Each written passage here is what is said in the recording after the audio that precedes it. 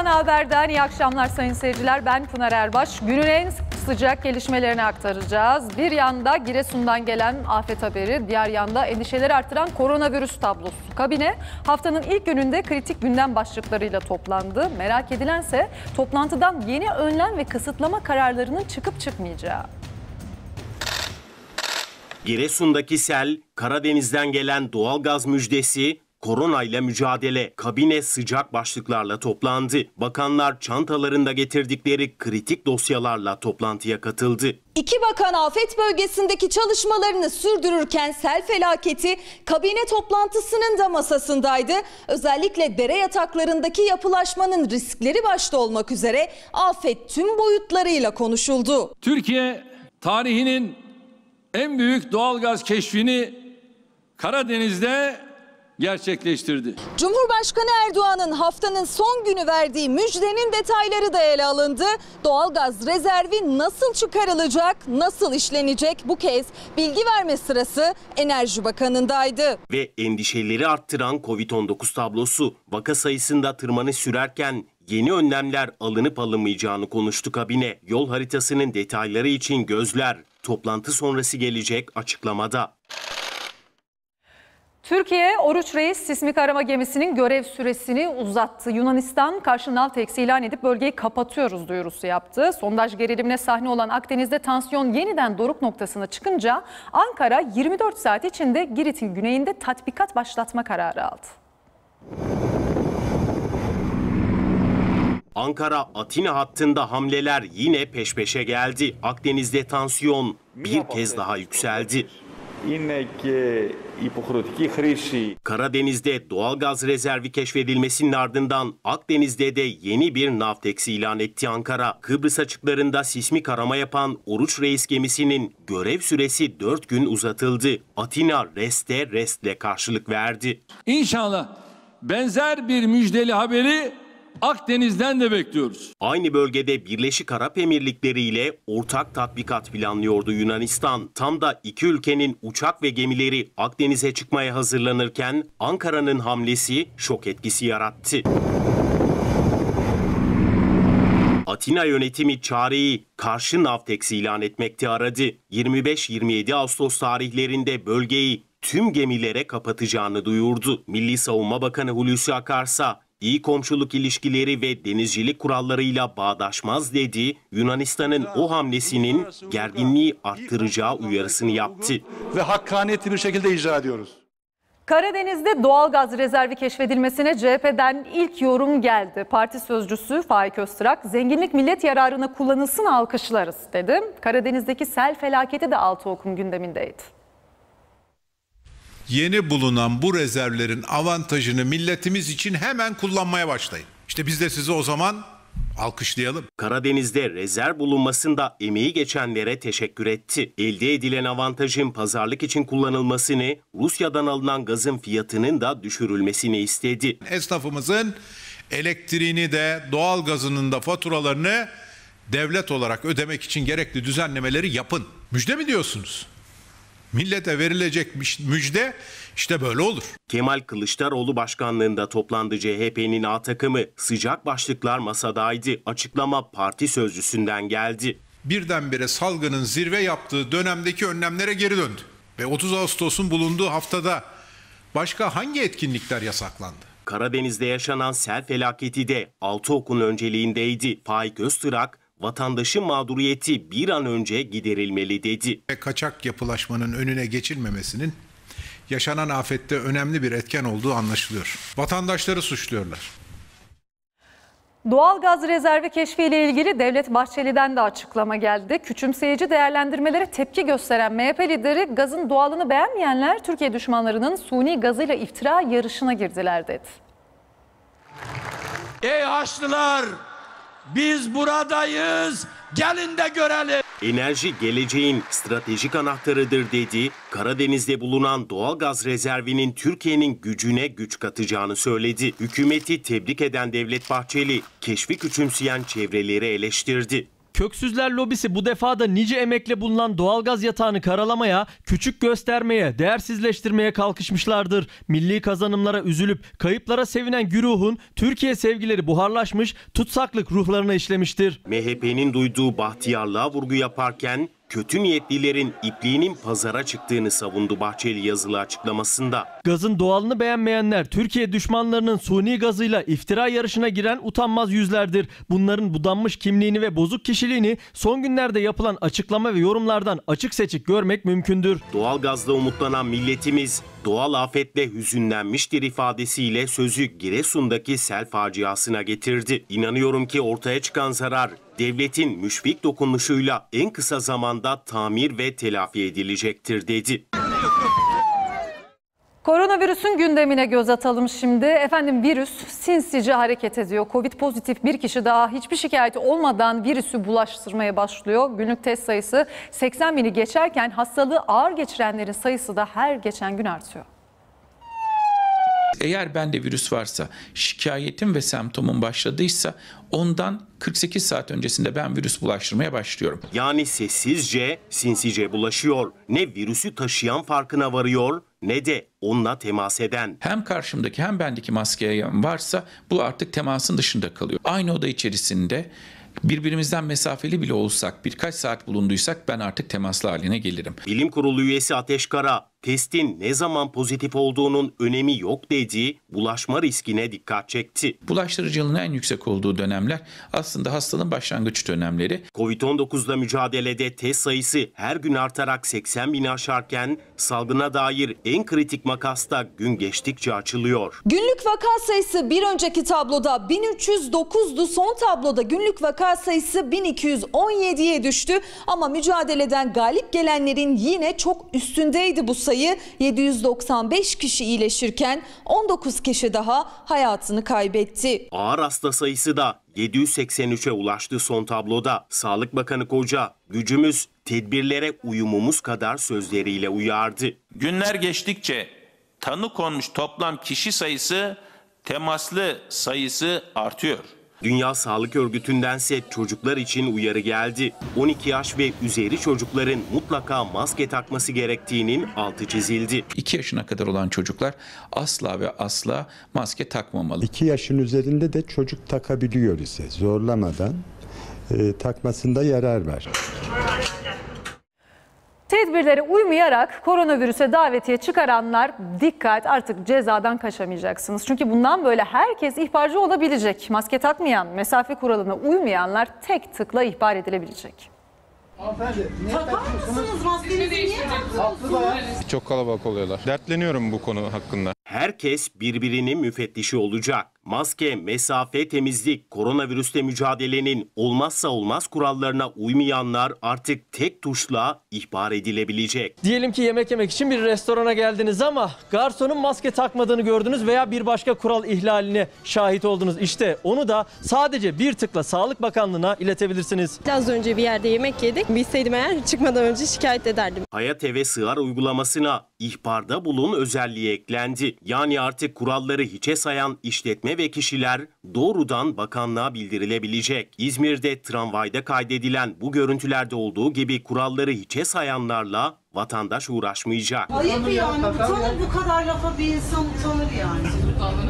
Yeni dönemde mağazalarda 10 metrekareye bir müşteri gelecek şekilde içeriye kabul yapabiliyor. Ancak zaman zaman o kural ihlal ediliyor. O kuralın ihlalinde de Hayat Eve Sığar uygulamasından şikayet edilebilir. Uyardım oluyor ama sürekli tekrarlandığı için hangi bir e, insana, hangi bir vatandaşı uyaralım? Üstelik şikayette bulunan kişilerin kimliği de gizli kalacak. Yani ifşa olma korkusu yaşanmayacak. İhbara ispat için fotoğrafta eklenebilecek. Siz beni şikayet mi edeceksiniz yoksa? Şu an etmiyorum edeyim mi? Tamam etmeyin ne olur. Tek tıkla yapılan şikayet önce Sağlık Bakanlığı'na gidiyor. Sağlık Bakanlığı o şikayeti İçişleri Bakanlığı'na iletiyor ve kurumlarla, restoranlarla, kafelerle ilgili şikayeti İçişleri Bakanlığı değerlendirip gerekli cezayı kesiyor. Kızdığımız oluyor ama e, güzel bir uygulama.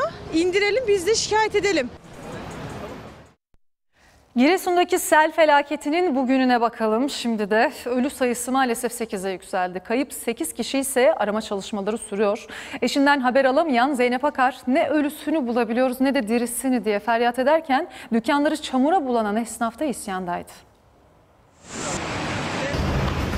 Su seviyeleri insan boyuna kadar gelmiş. Bu babam bizi bıraktı gitti ben dayanamıyorum. Dükkan gitti, ev gitti, her gün gitti. Evi, dükkanı, malı mülkü her şeyi gitti. Ama en önemlisi eşini kaybetti. Ne ölüsünden haber var ne de dirisinden. Ne ölüsünü bulabiliyor ne dirisini bulabiliyor. Giresun'daki sel felaketinde can kaybı 8'e yükseldi. İkisi asker 8 kişiyi arama çalışmaları da devam ediyor. Onlardan biri de 57 yaşındaki esnaf Kemal Akar. Kapıyı kilitledi ben bir çay içeyim dedi ekmek alacaktım. Zeynep Akar eşi Kemal Akar'la birlikte dükkanlarındaydı. Ekmek almak için dışarıya çıktı. O sel de tam o esnada bastırdı. Zeynep Akar tekrar dükkanlarına dönemedi. Araba gidiyor. Fırında kalmış yağmur çok şiddetlenmiş. Eşim burada selinenlik gitmiş daha bulamıyor. Her taraf geçseydi de eşim bağ kalsaydı tekçe. Kızı elinde babasının fotoğrafı hem ağladı hem de feryat etti. Ne kalmış bizi bıraktı gitti ben dayanamıyorum. Baba. Babam yok gitti. Dirisini bulamazsa ölüsünü buluruk getirirler bir şey mezarı olur. Arama çalışmaları sürerken bazıları da zarar ziyan hesabı çıkarmaya başladı. Acıyı, ı- ızdırabı, korkuyu yaşadık. Nurullah Barutçu'nun burada lokantası vardı. O sel sularıyla birlikte lokantada eşya kalmadı. Eşyalar tamamen balçığa gömüldü. Şimdi onlar da bu balçığı kendi imkanlarıyla çıkarmaya çalışıyor. Nurullah Barutçu'nun maddi zararı ise yaklaşık 150 bin TL. Olay anında bu tavana kadar değdi bu su. Erkenden kaçmak nasip oldu bize o gün. Kaçabilen kaçtı. Selde mahsur kalan bir ineğin imdadına da AFAD ekipleri yetişti. Adana'da dün başlayan orman yangını gece boyu sürdü. Alevler köylere sıçradı. Evi, hayvanları, neyi varsa yanıp küle dönen Hatice Eroğlu gözyaşları içinde yardım istedi.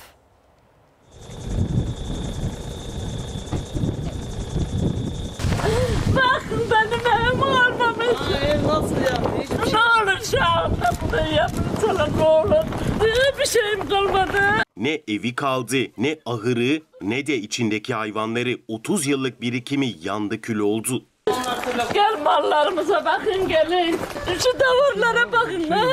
Bakın. Kaç tane hayvan. Bakın oradan. Çekin resmini. Adana'nın Kozan ilçesinde dün başlayan orman yangını gece boyu sürdü. Kızılçam ormanını saran alevler çevre köylere de sıçradı. Köyümüzde komple evlerimiz yandı. Hatice Eroğlu sabah olduğunda bu manzarayla karşılaştı. Bir şeyim kalmadı. Hiçbir şeyim yok. Bir tane. Sadece ekipler değil, alevlerle mücadeleye köylüler de katıldı. Bazıları boş olan evlerin camlarını kırıp yanıcı ve patlayıcı maddeleri uzaklaştırmak için uğraştı. Tarım ve Orman Bakanı Bekir Pakdemirli de inceleme yapmak için bölgedeydi. Bunun bir e, kasıt e, olma ihtimali konusunda bir ihtimal üzerinde duruluyor. Saatler geçti, Kozan'da yangınla mücadele hala bitmedi. Efendim hatırlayanlarınız olacaktır. Şakarlı aracıyla trafiğe çıkıp terör estirmiş, tartıştığı sürücüyü bıçaklayıp da kaçmıştı. O maganda yakalandı. Üstelik polislerin arasında giderken o eski halinden eser bile yoktu. Son durağı da cezaevi oldu. Çakar takılı polisin de yolu kesti araç. Sen şaka mı yapıyorsun? Araç yolu kesti. Bir Sen dakika. şaka mı yapıyorsun? Bana bak. Sen ciddiyorsan şaka mı yapıyorsun? Senin psikolojik sorunu mu var? Bakın. Seni ben burada öldüreyim mi? Sen ne istiyorsun? Görüntülerde ahkam kesiyordunuz. Polisim yalanıyla önünü kesti, trafikte tartıştığı sürücüyü 5 yerinden bıçakladı. Türkiye'yi ayağa kaldıran o maganda daha fazla kaçamadı. Sen ne ayak yapıyorsun? lan. Sen ne ayak yapıyorsun? Bana bak bir. Bana lan. bak bir. Bana bak bir lan. Bir Sen çekin de. kamera çek. Araç malsın sen haksan malsın. Muhammed Enes Uysal yasağa rağmen çakarlı aracıyla trafiğe çıktı. Yol vermeyen Dadaş Aras'ın önünü kesip terör estirdi. Ben polisim lan dedi. Şerefsiz sen niye yol vermiyorsun bana dedi. Ben dedim ne küfür ediyorsun lan dedim. Polis küfür eder mi? Aracı önüme kesti. Bu görüntülerden sonra kamera kapandı. Ruhsatsız silah taşımaktan kavgaya kadar 6 ayrı suç kaydı olan Maganda Dadaş arası 5 yerinden bıçakladı. Ben tam arkamdan bir günde ses geldi. Kafamı vurdum düştüm yere. Sonra bir baktım beni bıçaklıyor. O Maganda kaçtı ama yakalanması uzun sürmedi. Trafikte tartıştığı Dadaş arası 5 yerinden bıçaklayan o saldırgan polisten en fazla 2 gün kaçabildi. Cinayet büro ekipleri onu avcılarda saklandığı yerde gözaltına aldı. Çakarlı aracı ve bıçağıyla aslan kesilen Maganda iki polisin arasında adliyeye sevk edilirken sorulan sorulara cevap vermedi, sesini bile çıkaramadı. Görüntülerde ahkam kesiyordunuz. Muhammed Enes Uysal tartışıp bıçakladığı Dadaş arası suçladı. ifadesinde kamerayı kapattıktan sonra aracından indi ve bana yumruk attı dedi. Ardından bıçak çekti. Bıçağı elinden aldım ve ardından onu bıçakladım dedi. Maganda kasten öldürmeye teşebbüs ve kişiyi hürriyetinden yoksun bırakma suçlarından tutuklanıp cezaevine gönderildi. Şiddet gördüğü için eşinden boşanmak istedi ama az kalsın canından oluyordu. Gözü dönmüş koca genç kadının karşısına pompalı tüfekle çıktı. Bakın genç kadının hayatı nasıl kurtuldu. Bir anda şöyle bir ses geldi. Abi imdat kurtarın falan diye. Adamın elinde pompalı tüfek kadının saçından tutmuş. Dükkana doğru koştular. Ne pompalı tüfek korkuttu onu ne de karşısında tehditler savuran adam. Bir kadın cinayeti daha yaşanmasın diye kendini siper etti, genç bir kadının hayatını kurtardı. Silah aşağı doğru bak sizi de vururum falan sonu çok kötü olur dedi. Dedim ki burada beni vurursun bu kızı yine de hiçbir şekilde vermem alamazsın dedim. Görüntünün adresi Ankara Keçiören. İddiaya göre şiddet gördüğü eşinden boşanmak isteyen genç kadın evi terk edip ailesinin yanına yerleşti. Ancak kocası bir türlü peşini bırakmadı. O genç kız Keçiören'deki bu parkta yürüyüş yapıyordu dün akşamüstü saatlerinde. Karşısına bir anda boşanmak üzere olduğu eşi çıktı. E adamın elinde silah görünce de kız tabii ki vurmaya götürdüğü için kaçtı bize yanımıza geldi. Kız ne yapacağını şaşırdı. Can havliyle yolun karşısında bulunan işte bu oto yıkamacıya sığındı. Gözü dönmüş adam elinde pompalı tüfekle sokak ortasında dehşet saçmaya hazırlanırken pek de sık rastlanmayan oldu. Biri onu durdurdu. Genç kız beni kurtarın öldürecek çığlıkları atarak işte bu iş yerine sığındı. Adamda pompalı tüfek olmasına rağmen Mesut Bey o adamı durdurmaya çalıştı. Hatta bir süre burada arbede yaşandı. O anlar iş yerinin güvenlik kamerasına böyle yansırken canını kurtarmak için oto yıkamacıya sığınan kadın içeride korkuyla bekledi. Pompalı tüfekli saldırgansa dakikalar sonra pes edip iş yerinin önünden ayrıldı. Kız almadan ben buradan gitmem. E Allah'ın izniyle biz de kızı teslim etmedik. Emniyet saldırganın peşine düşerken esnaf yaptığıyla sadece bir can kurtarmadı, herkese ders de vermiş oldu. İstanbul polisi 45 dakikada iki ayrı suç işlediği öne sürülen 12 yaşında bir hırsızlık şüphelisini yakaladı. Karakola gidildiğinde ortaya çıktı ki suça sürüklenen o çocuğun tam 700 ayrı suç kaydı daha vardı. Polis Şişli'de bir hırsızlık olayının peşine düştü. Zanlı 12 yaşında bir çocuktu. Üstelik ortaya çıktı ki suça sürüklenen o çocuğun 700 suç kaydı vardı. Suça sürüklenen çocuk markete girdi ve alışveriş yapan bir kadını takip etmeye başladı. Kadının çantası arkasındaydı ve o çocuk da en uygun anı kollamaya başladı. Gözündeki gözlük ve yüzündeki maskeyle kamufle olmaya çalıştı. Dalgın müşteri alışverişteyken çantasına elini uzattı. İşte böyle usulca cep telefonunu çaldı, marketten çıktı. Suça sürüklenen çocuk marketten çıktıktan sadece 45 dakika sonra bu kez bir kadını kapkaç yapmak istedi. Ancak Şişli çocuk büro ekipleri tarafından yakalandı. Yakalanan kişinin kimliği polisi şaşırtmadı çünkü karakolun gediklisiydi. 12 yaşındaydı ancak tam 700 suç kaydı vardı. Her seferinde de mahkemeye çıkıp serbest kalmıştı. Yine öyle oldu. Hırsızlık şüphelisi çocuk adli kontrol şartıyla serbest bırakıldı. Altın kolyemi satmak istiyorum diyen dolandırıcı kadına kandı ve ikinci kez tuzağa düştü. 15 bin lirasından olan kuyumcu kadın yaşadıklarına isyan etti. Sahte altın çetelerine karşı uyardı. Ama o kadar güzel ki tiyatro sanatçısı. 15 milyar lira verdik bu gerdanlığa. Ne yapacağım? Sabaha kadar ağlayacağım mı, güleceğim mi? Geçen yıl sahte bilezikle dolandırılmıştı. Bu kez de sahte kolye ile tuzağa düşürüldü. Bir arsız, hırsız geliyor. Bizim bir senelik emeğimizi çalıp gidiyor. Pendik'te kuyumculuk yapan Belkıs Dal dolandırıcı bir kadının kurbanı oldu. Senaryo hazırdı. Kadın dolandırıcı kuyumcudan içeri girdi. Bu kolyeyi gösterdi. Bunu satmak istediğini söyledi. Göğsünün orada bayağı büyük yazıyla bir dövmesi var. Güzel gözleri vardı bayanın. Maske de yoktu. Gayet rahat bir şekilde geldik. Kuyumcu kolyeye 15 bin lira değer biçti. Dolandırıcı olduğu iddia edilen kadın bir de şart koştu. Akşamleyin arayacağım. Kaynanam izin vermezse, kızarsa gelip alacağım. Belkıs Hanım ve kızı altının gerçek olup olmadığını öğrenmek için işte bu işlemi yaptı. Solüsyonu sürdüler ve iz hala duruyordu ve buna güvenerek kolyeyi satın aldılar. Baktık 22 ayar. Bak 22 ayar. Taşa sürtüyoruz. Bak.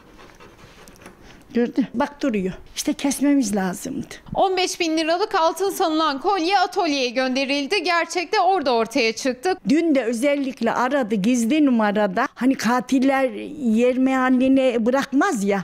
Aradı kontrol etti. Kolye kesildi ve aslında altın değil çok iyi işlenmiş bir kaplama olduğu ortaya çıktı. İkinci kez tuzağa düşen kuyumcu isyan etti. 19 milyar vermişti. Azıcık damlatmışlar. Demir ortaya çıkmış. Dedim, Ne yapacağım? Sabaha kadar ağlayacağım mı, güleceğim mi? Şimdi tek isteği o dolandırıcının yakalanması. Birbirimize haber verelim. Bu kadını gören ben arasın. 213 ülkede 850 bine yakın can alan korona yeni bir icat çıkardı. İşte sınırı aşanı ifşa eden sosyal mesafe alarmı ve o alarmın faydaları. Hemen uyarmaya başladı. Kırmızı ışık yandı, alarm çalıyor. Mesafeyi korumak önemli. Bakın duyuyor musunuz alarm sesini? Çok atıyor ama ya. Bu sesi duyan ne yapar? Hiç duymamazlıktan gelir. Eyvah bunu da mı? 8 hece 3 kelime. Çok net. Sosyal mesafeni koru. Ama 40 kere de uyarılsalar, 1000 kere de uyarılsalar bu kurala uymamakta ısrar edenler var. Bu alarm sosyal mesafe kurallarına uymayanları ifşa ediyor. Bu haberde sosyal mesafe kuralına uymayanları ifşa ediyoruz. Nasıl mı? İşte bu cihaz sayesinde bakın nasıl çalışıyor. 1,5 metre mesafede ayarladığımız sensörler vasıtasıyla iki kişiyi belli mesafede tutuyoruz. Ben de enerjiden uzak durdum. Sende de uzak duruyorum. Ama bakın alarm veriyor hala. Ama siz uzaklaşın. Ben nereye bak ben düzgün duruyorum. Sabahleyin özellikle belirli saatlerde yoğunluk çok oluyor. İnsanlar farkında olmuyor. Bakın bir kafedeyim. Yerde sosyal mesafenize dikkat edin uyarısı var. Yazılı olarak uyarıyor. Ama herkes durması gerektiği yeri bilmiyor. Birkaç defa gördükten sonra insanlar körleşiyor. Dolayısıyla yazıyı da görmüyorlar. İşte bu cihazda böyle durumlarda kuralı ihlal edenleri ifşa ediyor. Elektrikle çalışıyor. Bir alarm çalma, uyandırma zili gibi insanlar birden kendine geliyor ve mesafeyi hemen açıyorlar. Araçlardaki emniyet kemeri uyarısı gibi. Düşünsenize böyle bir kasa kuyruğundasınız. Kuralı ihlal ettiğinizde böyle bir alarm çalıyor. Ortamdaki herkes size bakar. İnsan bir çekinir ve ister istemez mecbur kalır bu kurala uymaya. Otellerde, danışmalarda, mağazalarda, marketlerde kullanılabilir. Sizin burnunuz açık da onun da ekstradan uyarısını veriyor. Yine durmadı. Geri gidelim. Şimdi oldu. Bence hemen alışmamız lazım bu ses çünkü dayanılacak gibi değil yani. Çalsın herkes kurala uysun yani. Gene her şey insanda yani beyninde bitiyor. Elinde bıçakla mağazayı bastı, iş yeri sahibini bıçaklayıp 9 aylık hamile eşine dehşet dolu anlar yaşattı ve tüm bunlara rağmen serbest bırakıldı. Saldırıya uğrayan ailenin isyanı geliyor şimdi ekrana. Eşim ölebilirdi. Saldırgan beni dışarıda kaldırımda görür görmez üzerime yöneltti ve beni bıçakladı. Bıçakla iş yeri bastı, iddiaya göre tehdit ve şantajla haraç istedi. Eşini bıçakladığı 9 aylık hamile kadına dehşeti yaşattı. Ben ölebilirdim. Bebeğim ölebilirdi. Eşim ölebilirdi. Korku dolu dakikaların adresi Osmaniye'deki bu mağazaydı.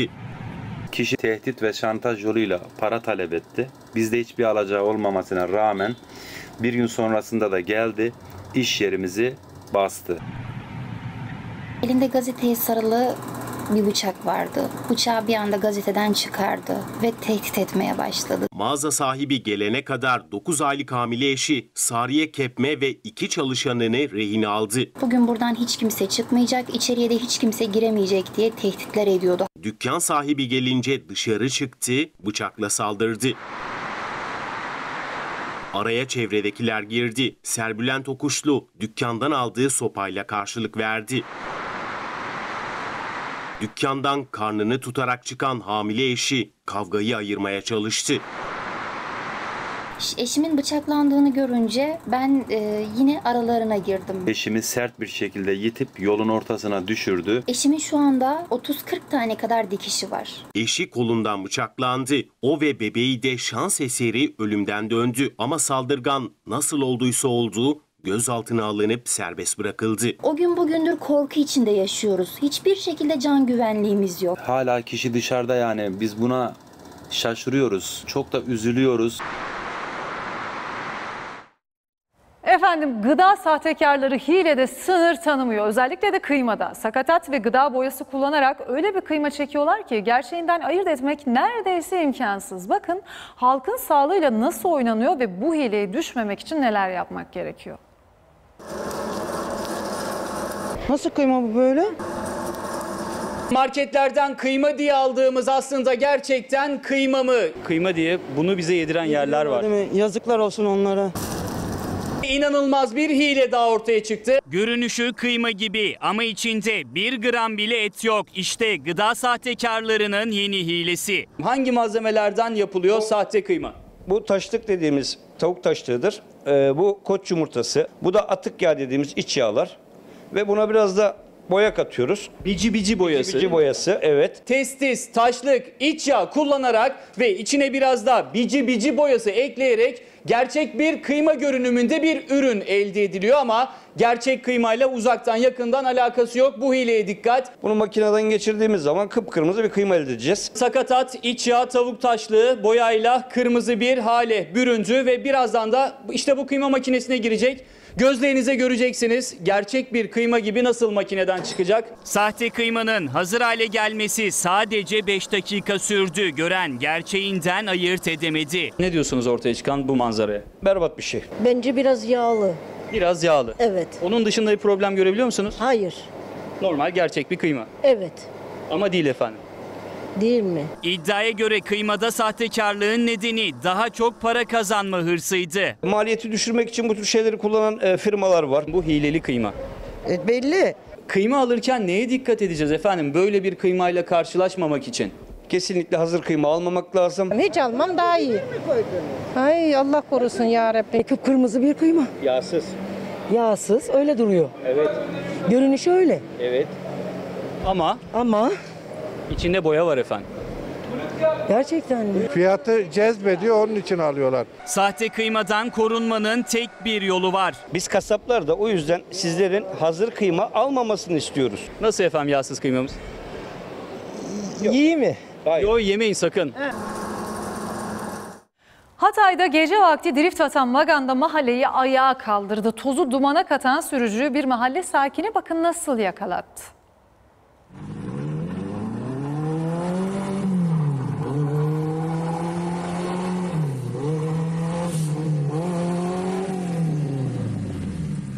Bak benim burada drift atacak şimdi.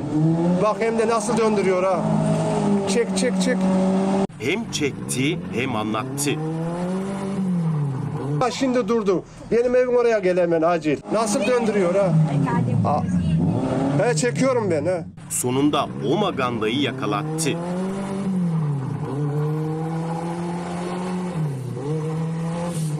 İşte işte geldi. Ha ha yakaladılar. İyi hadi.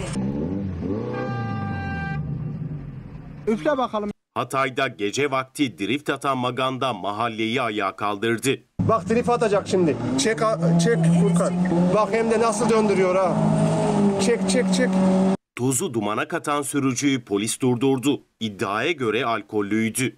Gel buraya. Sen benim sürdüğümü gördün mü abi? Beyefendi senden başka kimse yoktu araçta. Abi, Beni aldım seni. Sen gördün mü sürdüğümü? Polis o sürücü hakkında işlem başlattı. Sana son kez soruyorum.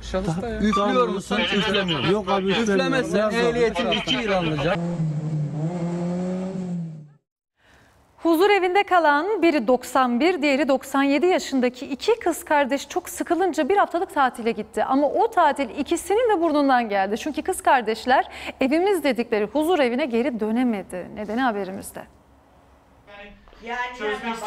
Abla bizi huzur evine almadılar. Onun için biz şikayet ediyoruz. İki yaşlı kız kardeş pandemi engeline takıldı, evimiz dedikleri huzur evine alınmadı. Hayır dediler. Test yapmadan gene giremezsiniz. Ve orada kapıda kaldık. Nereye gidelim?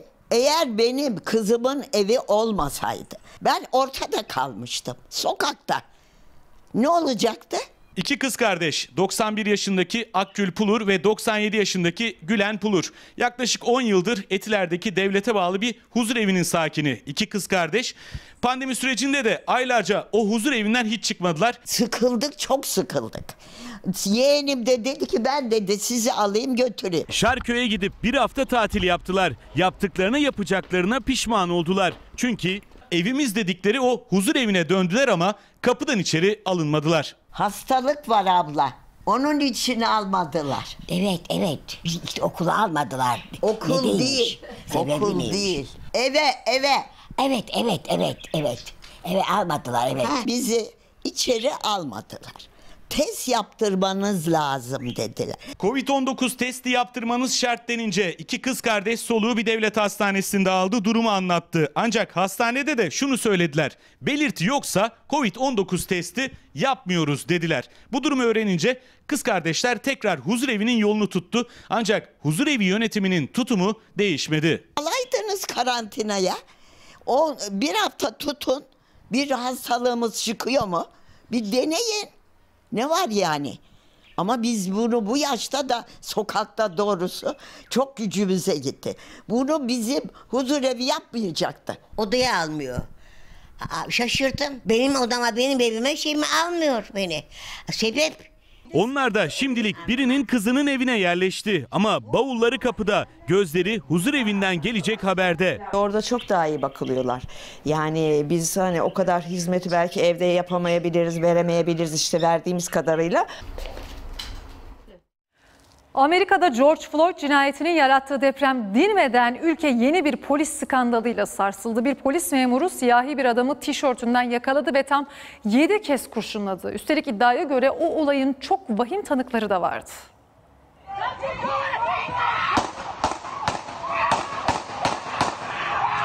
Tişörtünden yakaladı, sırtından kurşunladı. Polisin sıktığı o 7 kurşun Amerika'yı çok karıştırdı. Irkçı George Floyd cinayetinin tepkileri dinmeden Amerikan polisi yeni bir skandala daha imza attı. Wisconsin eyaletine bağlı Kenosha kentinde siyahi Jacob Blake iddiaya göre kavga eden iki kadını ayırmak isterken olaya müdahale eden bir polisle tartıştı.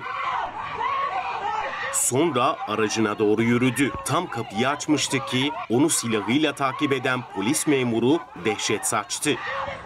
Siyahi adamı tişörtünden yakaladı, 7 el kurşun sıktı.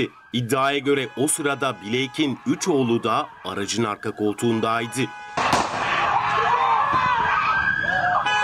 Ağır yaralanan Blake için ambulans çağrıldı. Olayın tanıkları şoktaydı.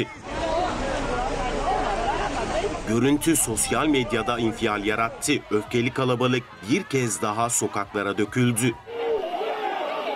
Polis merkezi önünde pankart açtılar, ateş yaktılar. Protestolar büyüyünce sokağa çıkma yasağı geldi. Olayın ardından o polisler idari izne ayrıldı. Jacob Blake'in sağlık durumununsa hala kritik olduğu açıklandı.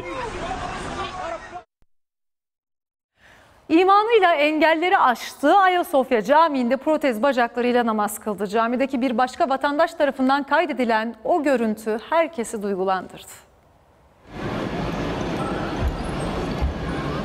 Protez bacaklarıyla geldi, tüm engelleri aştı, işte böyle namaz kıldı, herkesi duygulandırdı. Cep telefonu kamerasıyla Ayasofya Camii'nde kaydedildi o anlar. Genç adamın adı, yaşı, ne iş yaptığı bilinmiyor. Ama görüntü kısa sürede binlerce kişi tarafından paylaşıldı. Engel tanımayan genç, Diyanet İşleri Başkanı Ali Erbaş'ı da etkiledi. Erbaş, Enam suresinden bir ayetle, benim namazım, ibadetim, hayatım ve ölümüm hepsi alemlerin Rabbi olan Allah içindir notuyla paylaştı görüntüyü. Aile, Çalışma ve Sosyal Hizmetler Bakanı Zehra Zümrüt Selçuk da kayıtsız kalmadı. İman her engeli aşar yorumu yaptı. Kırklareli'ndeki düğünde istek parça kavgası çıktı. Kız tarafıyla damadın yakınları farklı şarkıların çalınmasını isteyince ortalık fena karıştı. Çiçeği burnunda çiftin en mutlu günü bakın nasıl zehir oldu.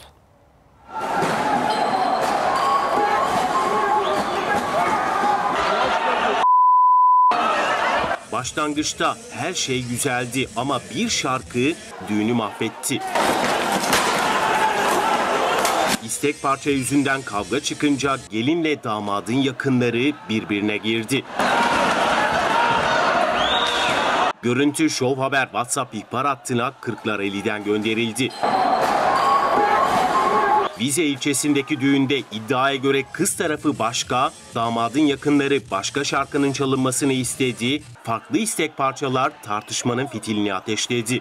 Mavili silah çıkardı. O tartışma kısa sürede alevlendi. Dans pistinde oynayıp eğlenenlerin yerini sandalye fırlatıp kavga edenler aldı.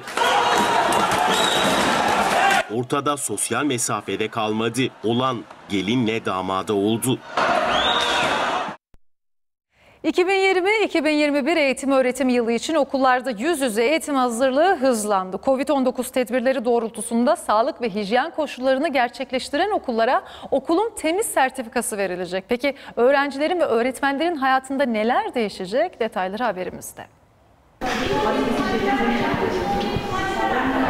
Ve isimleri sıranın üzerinde yazılı olacak. Artık eskisi gibi değiliz. Öğrencimizin ateşini kayıt altına alacak. Hijyene ve sosyal mesafeye çok dikkat ediyoruz. 2020-2021 eğitim öğretim yılının ilk dersili için geri sayım başladı. Okullar yüz yüze eğitim için hazırlıklarını hızlandırdı. Tedbirler öğrencilerimiz için okulun kapısından daha ilk adım atar atmaz başlıyor. Hiç şüphesiz temizlik, sosyal mesafe ve maske çok önemli. Bu üç kural çerçevesinde her öğrencinin ateşi ölçülüyor girişte. Resepsiyondaki arkadaşım öğrencimizin ateşini kayıt altına alacak. Deftere ateş ölçümü yazıldıktan sonra öğrenciler kontrollü bir biçimde sınıflarına ilerliyor. Elini tekrar dezenfekte ettikten sonra yeni bir maskeyi takacak ve sınıfına öyle gidecek. Sağlık Bakanlığı'nca hazırlanan uyarı yazıları uygun yerlere asılacak. Yerde sosyal mesafe uyarılarımız var. Okulumuzun değişik alanlarında yine bu levhalarımız, afişlerimiz olacak. Sınıfa girerken ayak pedalıyla çalışan el dezenfektanlarını alarak ellerini dezenfekte edecekler. Sınıflarda temizlik standartlarına uygun bir şekilde hazırlandı. Her sıra arasında sosyal mesafe kuralı uygulandı. Bunun yanı sıra sınıflardaki kapasite azaltıldı. Her öğrenci de kendi adının yazdığı sıraya oturabilecek. İsmi yazılan öğrenci oturacak. Başka öğrenci buraya oturmayacak. Yine bunun yanı sıra da her öğrencinin tahtaya kalkacağı tahta kalemi sırasının üstünde olacak. Bir devir bitecek, öğrenciler arasında kırtasiye alışverişi engellenecek. Öğrenciler arasında kalem transferi olmayacak bulaş riskini azaltabilmek için. Yüz yüze eğitimin 21 Eylül'de başlaması planlanıyor. Tedbirler sadece öğrencilerimiz için değil, çalışanlarımız var, öğretmenlerimiz var. Onlarla ilgili tedbirler alıyoruz. İşte bu süre içerisinde tüm okullar fiziki temasını önüne geçmek üzere hazırlıklarını tamamlayacak. Hazırlıklarını tamamlayan okullar da okulun temiz sertifikası alacak. 2000 denetçimiz tarafından denetlenecek. Antalya'da oto aksesuar işi yapan üç kafadar koltuktan motosiklet tasarladı. Yeni aracın farkı adına da yansıdı. İşte koltuk siklet. Gittik hurdacıdan motor aldık. Koltuğu gittik stopçulardan aldık. Kadını, yaşlısı, genci gerçekten gülerek ve aa motora bak, aa koltuğa bak diye tepki veriyorlar. Koltuğa motor taktı, bakan bir daha baktı. TV koltuğu normal TV koltuğu bu. Antalya'da oto aksesuar işi yapan Murat Tokmak iki arkadaşıyla birlikte koltuktan motosiklet yaptı. Normal e, er arabası tekerlekleri kullandık. Şu motorun bize maliyeti 1000 lira yani ama zevki çok farklı bir şey. Farkı adına da yansıdı. Mucitleri ona koltuk siklet adını taktı. Çok rahat, sürüşü rahat. Üç mucit hobi amaçlı yaptık diyor. Koltuk sikletle trafiğe çıkıp ceza yemekten korkuyor. 5 dakika için bir çekim için çıkardık sadece. Biz bunu trafik için yapmadık zaten. Hobi amaçlı.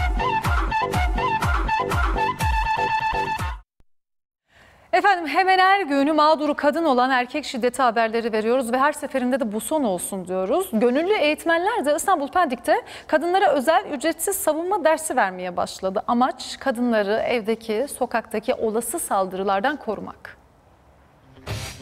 Ağırlıklı yumruk savunma şeklinde oluyor. Önce formülü verdiler, sonra da pratiğini gösterdiler.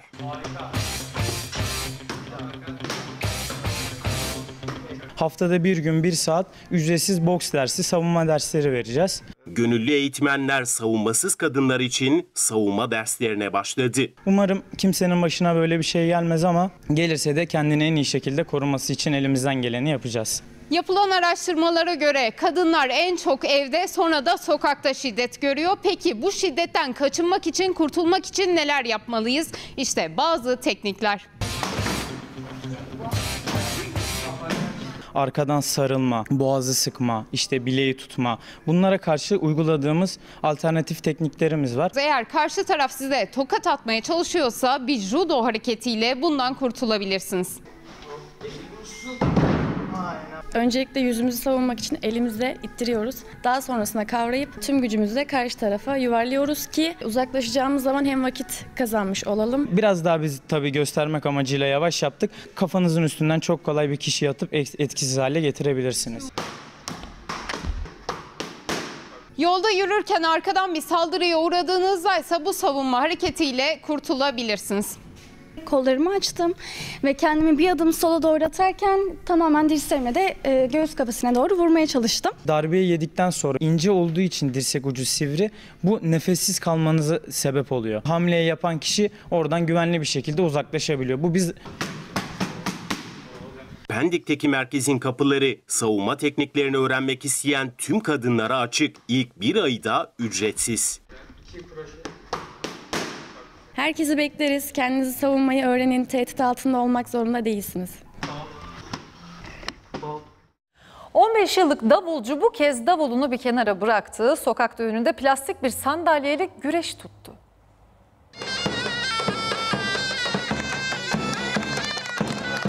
Kendini yere attı. Çok zorlanıyormuş gibi yaptı.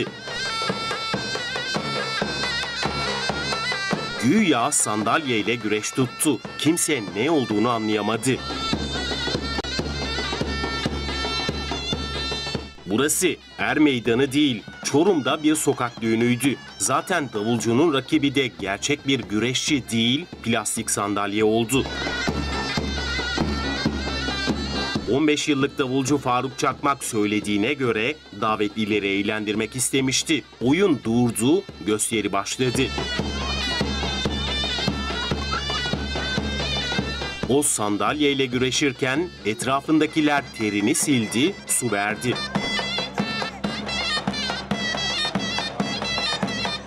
Sonunda da sandalyeyi tuşa getirdi.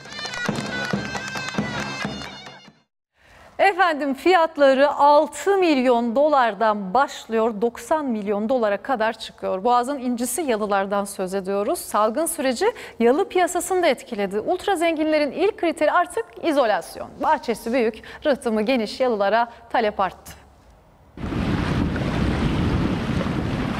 Pandemi sürecinde yalı piyasasında aslında sanılanın aksine çok ciddi bir hareketlenme oldu. Özellikle bahçeli ve geniş rıhtımlı yalılar çok tercih ediliyor. Salgın yalı piyasasını da etkiledi. Ultra zenginler büyük bahçeli, geniş rıhtımlı yalıların peşine düştü. Çok güzel yalılar da bu arada eklendi. En çok gelen talep neresi isteniyor derseniz Anadolu Hisarı ve Kandilli. Boğaz'ın iki yakasında 366'sı tarihi eser 600 yalı var. Eskiden tarihi yalılar revaçtaydı ama koronavirüs süreci tercihleri değiştirdi. Özellikle bahçeli ve geniş rıhtımlı yalılar çok tercih ediliyor. Hem yalı hem yalı daireleri hem satılık hem kiralıkta. Dolarda artış olunca fiyatlar aşağı çekildi. Yalı fiyatlarında da düşmeler yaşandı. Yaklaşık %10, %15 kadar. Satılık rakamlarımız 6 milyon dolardan başlıyor. Yaklaşık 85-90 milyon dolara kadar. Kiralıklar da 12 bin dolardan 25-27 bin dolara kadar değişiyor. Yalı dairelerinde de 3500-4000 dolardan başlıyor. Yeni yalılar da satışa çıktı. Satılık ve kiralıkların sayısı arttı. Neredeyse her hafta e, mutlaka bir yalı ya da yalı dairesi satılık ya da kiralık olarak e, portföyümüze katıyoruz. En çok satılık yalıysa Anadolu yakasında. Çengelköy ve Kanlıca'da şu anda satılık ve kiralık yalılarımız çoğunlukta. En çok gelen talep neresi isteniyor derseniz Anadolu Hisarı ve Kandilli. Bursa'nın Mudanya ilçesindeki gölette binlerce balık telef olup kıyıya vurdu. Ekipler yavru balıklar da ölmesin diye bakın ne yaptı. İşte göletteki çevre felaketi ve yavru balık seferberliği. Yetkililer buna bir çare bulması lazım. Bakın bu balıkların hepsi ölü. Su çekildi, binlerce balık telef oldu, kıyıya vurdu. Şu an Bursa Nülüfer Hasköy göletindeyiz. Normalde su şu tepede gördüğünüz yere kadardı. Sıcaklar artıp yağışlar azalınca Bursa'nın Mudanya ilçesindeki göletin suyu çekildi. Kuraklık sayesinde bu su bitti. Yazık günah ya. Göletteki su seviyesi azalınca oksijen miktarı da düştü. Telef olan binlerce balık bu sabah kıyıya vurdu. Bakın ya şu görüntüye bakar mısınız? Yani insanlık mı bu ya? Kalan balıkların hepsi de ölecek. Ekipler yavru balıklar da ölmesin diye gölete tanker çekip su takviyesi yaptı. Yağmurlama sulama yapıyoruz son 2-3 günden beri. Malum havalar sıcak, üstüne bir de korona tehdidi eklenince can dostlarımızın bakım ihtiyacı bir kat daha arttı. Bursa'da da bir girişimci pet kuaförüne dönüştürdüğü minibüsüyle o hizmeti adreslere taşımaya başladı. Kapı kapı dolaşıyor, evcil hayvanların temizliğini ve bakımını yapıyor. Yol stresi yok, git gel problemi yaşamıyorlar. Tertemiz yıkıyor, özenle tarıyor. Sahipleri vakit ayırmak zorunda kalmıyorlar bu şekilde. Kapı kapı dolaşıp Ağustos sıcağında bunalan köpeklerin tüylerini tıraş ediyor. Irkının özelliklerine göre e, tıraşını, banyosunu, taramasını, ne işlem gerekiyorsa hepsini kapının önünde yapıyoruz. Mobil hizmet salgın endişesiyle kliniklere girmek istemeyen hayvan sahiplerinin de yüzünü güldürüyor. Bu ufaklığımızın sahibi şu anda kendi işinde. Kapıdan kendi yattığı yerden aldım köpeği. Banyosunu yaptırdık. Veteriner sağlık teknisyeni Levent Turhan'ın dükkanı da işte bu minibüs. Bir seneye yakın arabanın e, iş tesisatının hazırlığı sürdü. O minibüs Levent Turhan'a gelir kapısı oldu. Randevular art arda geldi. Şimdi evden eve koşuyor, taleplere yetişmeye çalışıyor. Günlük anlamda ortalama 5'ten 7 arasında sayı değişiyor. Şov Haber WhatsApp ve VIP ihbaratlarımızı hatırlatalım. Telefon numaralarımız 0536 266 90 çift 0 veya 90 02 diyelim ve şimdi ara verelim. Ana Haber'in sonuna geldik. Yarın yine gündemin öne çıkan gelişmeleriyle karşınızda olacağız. İyi akşamlar.